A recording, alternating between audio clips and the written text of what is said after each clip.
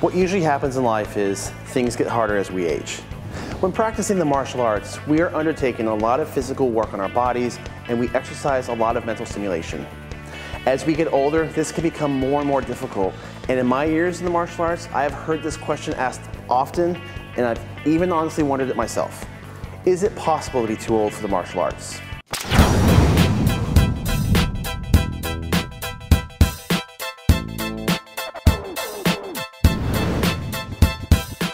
I'm going to begin this video with a very direct and bold answer, no. The answer is no, you are not too old to train in martial arts.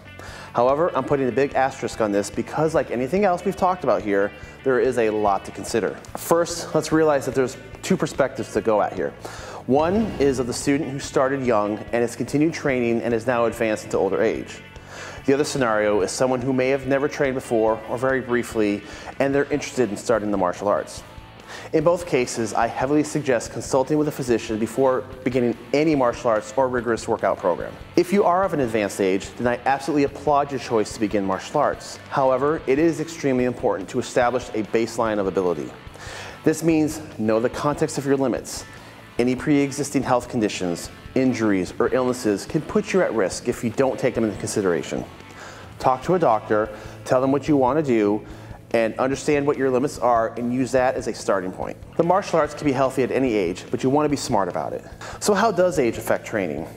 If you're someone who started martial arts at a younger age and continued training throughout adulthood, then I'm willing to bet that you've noticed some differences over the years. Our bodies change, and even if we're extremely active, we go through a transformation, both mentally and physically. I'm not going to speak for everyone, however, I can only relate to my own observations and experiences and the differences I've noticed.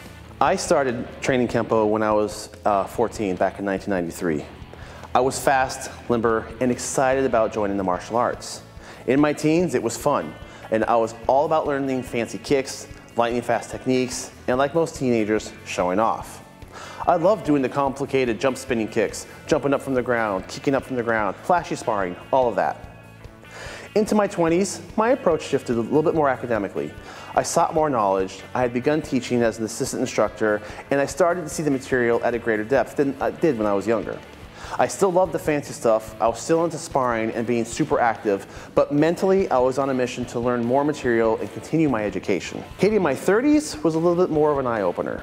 Diet was an aspect. When you're 30, you don't burn through calories as well as you did when you were a teenager, so that was something to be aware of. Also, in my 30s, I started to feel consequences of smaller injuries I had when I was younger. I had surgery to repair a chipped bone in my knee, as well as another surgery to repair a tear in my Achilles tendon that had gradually worsened over the years. It was also harder to get past the downtime of being out of training. Each surgery prevented me from training for about three months, and even when I got back to it, I had to ease back into it. Joints and body parts often don't feel as springy as they did when you were a teenager. Mentally, I transformed even more. I got much more interested in the academic side of the system, learning deeper levels of the material, and spending time analyzing and exploring. My techniques were more focused on power and effectiveness rather than flash and fanciness. Less jump spinning acrobatics and more grounded focused fighting. I also began to seek knowledge and expand into other arts as well, so I wanted to keep continuing my education. I turned 40 this year, and I'm as excited as ever to be in the martial arts. I started training in combat jiu-jitsu last year. I wanted to try something new, expand my horizons, but I did ask myself that same question. Am I too old to be starting this? There's a lot of throwing, falling, rolling, and joint manipulation, and honestly, I'm not the lightest person in the world, and I'm not accustomed to being picked up and tossed. Was this something that I should have started when I was younger? However, once I went to the school for the first time and I did my first trial class, I realized the answer was no. Once you learn proper methods of falling and safe practice, the classes are very rewarding. But I did ask myself that question, and I figured it would be a good topic to talk about. So what are some realistic expectations you should have if you are older and starting from scratch or going into a different art? First, it's not going to be easy, at least not likely.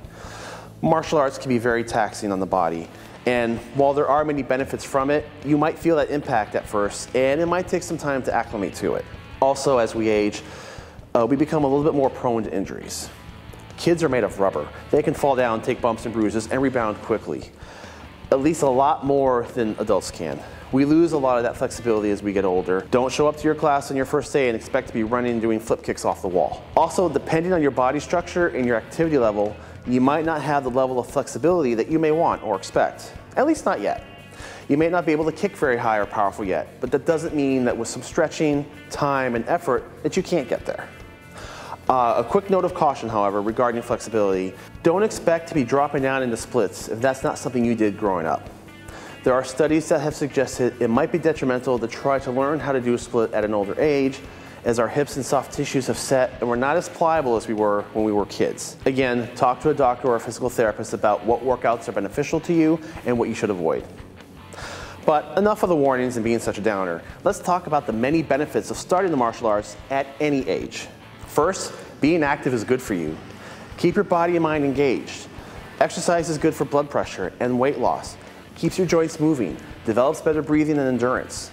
We were designed to move, and you do a lot of that in the martial arts. It will also help you with strength, whether it be striking power or developing better muscle support in our core and our legs. Working out in the martial arts will definitely help you develop or at least retain muscle mass. Now, you might not be delivering any Rocky Balboa bombs, but with the right mechanics initiated, you are likely to leave your mark. I don't know about all of you out there, but where I'm starting to feel it is in the knees. They crack and pop more than they used to. It's getting harder to spring up to a standing position than it used to. Working out your legs will help with this and develop a good muscular support system. Then we have speed.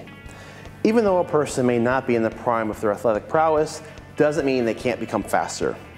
It does depend on the age too, but as we grow older, we often lose speed, especially if you have no prior training experience. Now, maybe you won't be snatching that fly out of the air anytime soon, but training might make the difference in being able to bring your hands up fast enough to deflect a punch. I mean, I personally know a few practitioners of advanced age that are pretty darn fast. So why not train? At the very least, you'll be faster than if you did nothing. Then we have reflexes. A lot of martial arts is learned habits, especially in an art such as Brazilian Jiu-Jitsu, Judo, or grappling. You learn how to fall properly, how to recover, how to get back up on your feet. This is a repeated action practiced over and over and over again. Training in the martial arts develops reflexes at any age, and you never know when the simplest of actions might spare you some injury. If you slip and fall, you might instinctively break fall and avoid hurting yourself. Find out what your limits are at the beginning and use that as your starting point. You might be surprised that after a while, you may be able to push those limits out a little bit. As a side benefit, it's a great way to develop friends and a social circle. Most martial arts schools are a family and they look out for each other. So besides all the other physical and direct benefits of practicing, you might also gain some new friends along the way. So now the big question, which art is the best? Honestly, that depends on a lot of what we covered in one of our first videos, which is the best martial art. But it boils down to what you want to accomplish.